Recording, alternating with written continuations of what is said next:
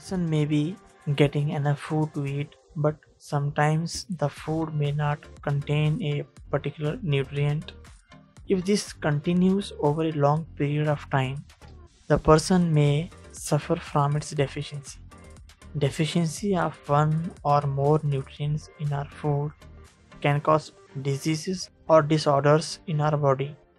Diseases that occurs due to lack of nutrients over a long period of time are called deficiency diseases.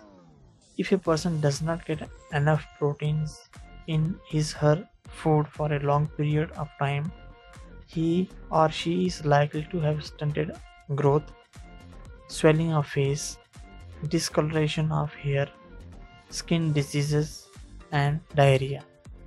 If the diet is deficient in both carbohydrates and proteins for a long period of time, the growth may stop completely. Such a person becomes very lean and thin, and so big that he or she may not even be able to move. Deficiency of different vitamins and minerals may also result in certain diseases or disorders in our body.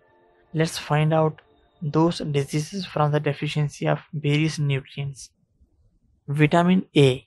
The deficiency of vitamin A is loss of vision. Symptoms poor vision, loss of vision in darkness, sometimes complete loss of vision. Vitamin B1. The disease from vitamin B1 is beriberi and symptom for vitamin B1 is weak muscles and very little energy to work.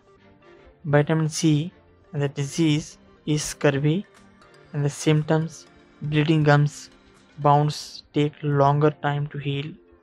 Vitamin D the disease due to the deficiency of vitamin D is rickets. Bones become soft and bent. Calcium, the disease due to the lack of calcium.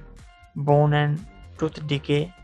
Symptoms weak bones, tooth decay, iodine, and the deficiency disease due to the lack of iodine is goiter. Symptoms glands in the neck appear swollen, mental disability in children, iron deficiency disease due to the lack of iron is anemia. Symptoms is weakness. All deficiency diseases can be prevented by taking a balanced diet. So one must take care about balanced diet in order to get rid of various diseases. The objective of this video was to know about deficiency diseases.